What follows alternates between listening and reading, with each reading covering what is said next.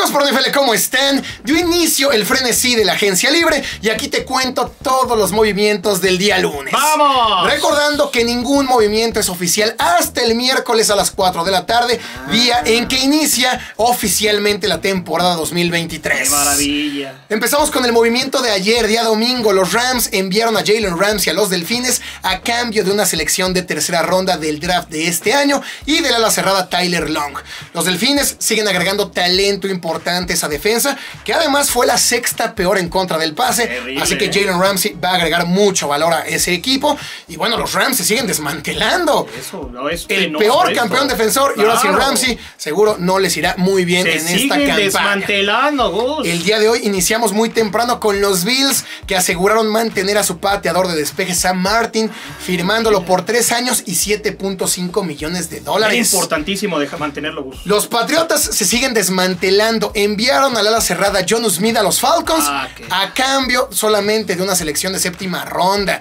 Nunca dio el ancho John Smith, le dieron mucho dinero, se esperaba mucho más de él y liberan 4.4 millones de dólares en el espacio salarial. Eso es importante. La buena noticia para los Pats es que lograron mantener a Jonathan Jones, esquinero, a quien renovaron por dos años y 20 millones de dólares. Muy bien. De hecho, a este Jonathan Jones lo tenemos en nuestra lista de los 21 mejores agentes libres, video que subimos la semana pasada. Vayan a verlo porque de los que hicimos, muy pocos quedan disponibles. Ok, estén al pendiente. Hablando de los Falcons, además de John Smith, agregaron y extendieron el contrato del guardia Chris Lindstrom por 5 años y 105 Uf, millones de dólares, convirtiéndolo en el guardia mejor pagado de la NFL Cañón. y muy merecido, uno de los mejores guardias en toda la liga. También firmaron al tackle defensivo David Onyemata por 3 años y 35 millones, una gran edición a una defensa que ha sufrido mucho las últimas campañas. La cartera abierta, ¿eh? Y no solo eso, también Ah. firmaron al safety Jesse Bates, ex de los Bengals, Ajá. por 4 años y 64 millones de dólares, convirtiéndolo en el cuarto safety mejor pagado en la historia. Esta sin dudas me parece su mejor contratación. Importante. Un día muy, muy agitado en Atlanta. Ahora únicamente les falta ya 20 posiciones, ¿no? 20 posiciones. De todo lo que más. tenían, ya faltan 20 posiciones más, incluyendo la principal que es la de mariscal de campo. Pues, pero están soltando el billetote. Hablando de los Bengals que dejaron ir a Jesse Bates, mantienen a otro de sus safeties, Michael Thomas, por una temporada más. Seguirá siendo parte del equipo durante 2023. Gran y ayer. también extendieron al linebacker Jermaine Pratt por 3 años y 21 millones. Así que se va Jesse Bates, pero mantienen a estos dos elementos. Claro, así tenía que ser. Los Seahawks anunciaron que van a liberar al ala defensiva Shelby Harris. No me digas. Jugador que llegó de Denver con el trade de. Russell Wilson. Buscaron cambiarlo, pero no hubo interés suficiente y les costaba mucho mantenerlo en el equipo. Claro. Así que seguramente muchos equipos se van a interesar por él. Es un crack. Vamos con los Bears que hicieron mucho ruido el día de hoy. No solo estafaron el viernes a las Panteras con el trade por el pick número uno global. De hecho, Sí. hicimos un video analizando específicamente ese trade.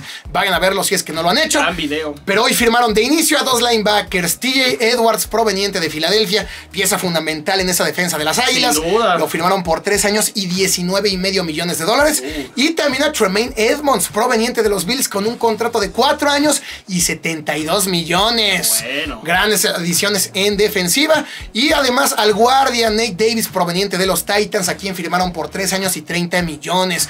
Todos estos elementos se planea que sean titulares desde la semana 1. Así que los Bears, con tanto dinero en espacio salarial, con estas contrataciones y con los picks que tienen de draft, podrían pensar en ganar su división este 2023. Ya necesitamos que los Bears revivan, por favor. En medio de todos estos movimientos, Austin Eckler, uno de los mejores corredores en la liga, le pidió permiso a los Chargers para buscar un trade.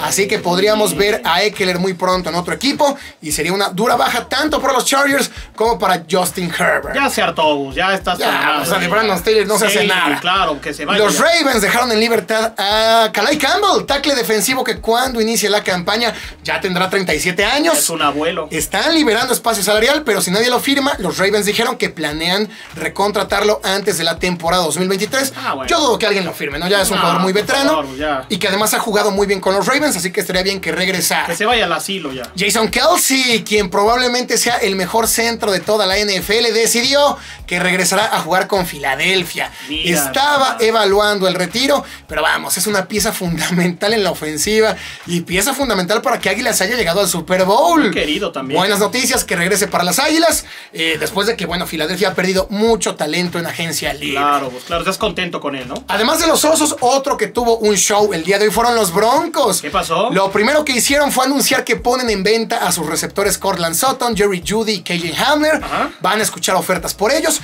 Y de ahí firmaron al guardia Ben Powers, proveniente de los Ravens, 4 años y 52 millones de dólares. Gran elemento. No solo eso, también firmaron al tackle Mike McGlinchey, proveniente de 49ers, 4 años y 87 millones de dólares. Caray. Así que protección para Wilson, que en 2022 fue el mariscal más capturado de la liga. A ver si es cierto, Y ¿eh? no acaba ahí. Ya también tienen el suplente de Russell Wilson, que es Jarrett Stidham. Mira. Recién salido de los Raiders, firmó por dos años y 10 millones de dólares. Así que ofensiva renovada. A temblar Wilson con Steve ahí, ¿eh?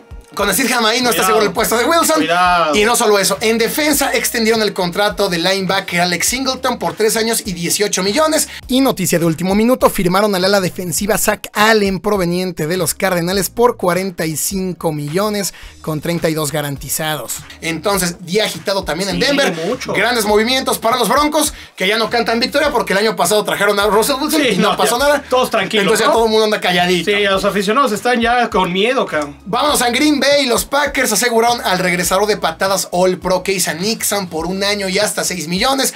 Movimiento que no hizo mucho ruido, pero un rol importante. Bueno, si no tenían que anunciar ahí. Antes del mediodía vino el primer bombazo. Los 49ers firmaron al tackle defensivo proveniente de Filadelfia, Javon Hargrave. Ah. Jugador vital en la defensa de las Águilas. Superó las 10 capturas y a quien firman por 4 años y 80 millones de dólares con 40 millones Wow, garantizados. qué feria. Así que la defensa de San Francisco, que fue la mejor de toda la liga en 2022, ya no solo tiene a Nick Bosa, a, a Ari Kamstead, ahora también tiene a Javon Hargrave. Claro. Y no fue lo único que los 49ers hicieron el día de hoy. También consiguieron al quarterback veterano que anunciaron que buscarían. El problema es ¿Quién que es? se trata de Sam Darnold. No, bueno, se habrían quedado así mejor. Llega firmando solamente por un año. Va a buscar pelear la titularidad contra Trey Lance. Uf. Se ve difícil, pero con tantas lesiones que ha sufrido San Francisco en Sí, la posición de quarterback, pues no está de más tener a Sam Darnold. Sí. Poco ayuda, pero mejor tenerlo ahí que tener que firmar a Josh Jones. Dado el hospital que manejan. Los Leones, a quienes les urge mejorar esa defensa, firmaron a uno de los mejores esquineros de esta agencia libre, Pues dime. Cameron Sutton, proveniente de los Steelers por Oh. 3 años y 33 millones de dólares. Gran elemento. Y los Steelers, al ver esta pérdida, firmaron a Patrick Peterson, esquinero que viene de los vikingos por 2 años y 14 millones de dólares. El problema es que Peterson va a tener 33 años al empezar la Sí, temporada. está veterano. Ha bajado drásticamente su rendimiento. Yo creo que Steelers debe buscar un esquinero sí o sí en el draft. Así es, sin duda. Antes de pasar al tema que todos están esperando, que es el de Jimmy Garoppolo, por favor, dale like a este video. No te cuesta nada y recuerda seguirnos en nuestras redes sociales, Twitter e Instagram, arroba locos-nfl, donde podrás encontrar la información y todos los pichajes en tiempo real. ¿Cuál va a ser la meta de los likes? Así los hemos subido mil likes. Vamos por mil likes. Mil likes, ok. Pero en, en nuestras redes sociales hemos subido todos los fichajes al momento Ah, va, va, va. para que no te esperes a que subamos el video. Recuerda que los fichajes continúan también mañana y también el día Y en miércoles. tiempo real, ¿eh? En tiempo real. ¿Cómo va? Pero ahora sí, Jimmy Garoppolo llegó a un acuerdo con los Raiders por 3 años y 67 y medio millones de dólares, con 34 de ellos garantizados. No, bueno. Para muchos, los Raiders están dando un paso en lateral. Realmente creo que Jimmy G no aporta mucho más de lo que aportaba Derek Carr. Así es. ¿Cuál es el tema? Que Jimmy G, sea como sea, conoce el esquema de Josh McDaniels. Derek Carr nunca se vio cómodo en esa ofensiva, nunca hubo química con el head coach y sobre todo Jimmy G sale más barato. A eso sí. Creo que te dan lo mismo. Creo que Jimmy G te da un poco más de estabilidad, pero eh, sale más barato. Si hablamos que a Daniel Jones le pagaron 40 millones por año, a Derek Carr en Los Santos le pagaron 37 y 37. medio millones por año. Jimmy G está cobrando 23 aproximadamente. bueno, y está Entonces genial. creo que por ese lado es un buen deal. Sí, Ahora, ojo, Raiders no está apostando el futuro a Jimmy G. Raiders va a ir por un quarterback novato prácticamente seguro. Por supuesto que esperan que Jimmy G sea como ese mentor, que es el quarterback puente para el quarterback novato y para el futuro de la franquicia. No es lo ideal. Seguramente Raiders no va a llegar a ningún lado con Garoppolo, menos en esa conferencia que hay lumbre, y menos en esa división donde están los Chargers, los jefes y los Broncos. Entonces realmente tampoco había más opciones, tampoco había más de Jimmy G. Entonces no se me hace tan mal movimiento. Tienes un quarterback veterano, experimentado.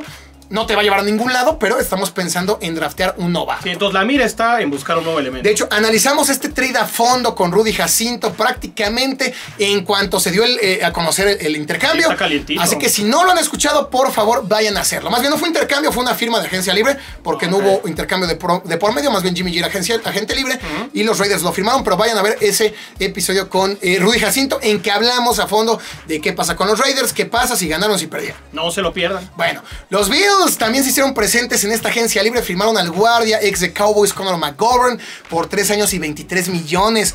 Protección para. Josh Allen, que le surge. Y los Cowboys pierden un liniero titular. Ojo con los Cowboys. ¿Qué va a pasar con los Cowboys? Los Ay. Delfines también hicieron movimientos. Los primero que hicieron fue firmar al, al quarterback Mike White, el ex de los Mm, Jets, sí, sí lo como topo, backup eh. de Tua Tagovailoa por dos años y 16 millones. Buen suplente, Sí. más sabiendo que Tua es propenso a lesiones, ¿no? Mucho. Seguramente Mike White va a tener que jugar en algún momento. Va a tener mucha chamba, ¿eh? Y también eh, firmaron eh, al linebacker proveniente de los Titans, David Long, por dos años y 11 millones. Más ayuda para esa defensa que no le fue nada bien. Urge la defensa. Los Commanders reclamaron en waivers al esquinero ex de vikingos Cameron Datzler y trajeron protección para quien sea que vaya a ser su quarterback. Firmaron al tackle ofensivo Andrew Importante. por 3 años y 24 millones de dólares.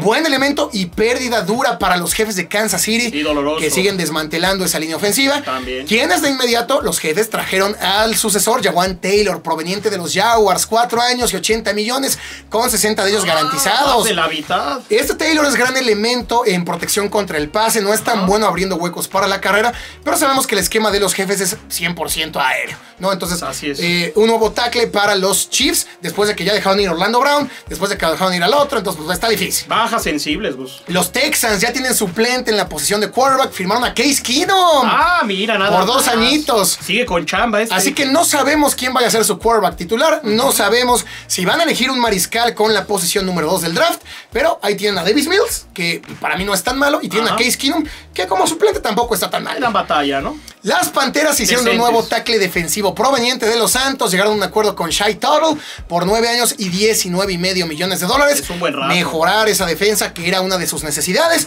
y se lo tomaron en serio, pues también trajeron al safety Von Bell proveniente de los Bengals y ex de los Santos. Buenas No adiciones. solo eso, extendieron a su centro Bradley Boseman por 3 años y 18 millones de dólares.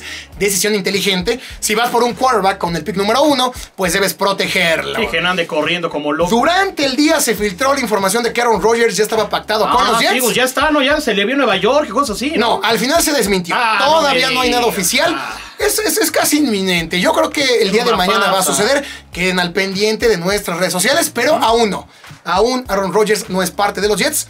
Repito, casi seguro mañana va a pasar, pero todavía no es oficial. Pues eso que se le ve en Central Park, en Broadway, todo eso es mentira. Pues por eso nevó en Nueva York, por eso Nueva York está congelado, porque estaba caminando por ahí Aaron Rodgers con ese pecho frío que se carga. Que se carga Pero tremendo. eh, activen la campanita Sí. de notificaciones porque en cuanto se dé el bombazo, lanzaremos transmisión en vivo analizando el movimiento con Rudy Jacinto. Así es, no se lo pierdan, amigos. Los Browns también hicieron movimientos, se hicieron del servicio del ala defensiva Obo Okoronquo por 3 años y 19 millones. Ayuda para Miles Garrett, ahora que seguramente no van a poder retener a Jadivion Clowney. Claro, era importante. Vamos con los bucaneros. Lo primero que hicieron en el día fue anunciar que están en búsqueda de, eh, de- de Baker Mayfield. Ah, van por Baker. Están buscando los Bucks a Baker Mayfield. no sé para qué lo Baker. anuncian. Sí, qué Pues ya, carajo. ya que lo, que, que lo firmen ya. Agárralo sin hacer tanto show. Pero también anunciaron que van a cortar al guardia Shaq Moss. Oh. Si es que no pueden cambiarlo en estos días, será agente libre, dado a que significa más de 8 millones en el espacio salarial. es una buena lana. Y lo último que hicieron, ya ahora sí con contratos,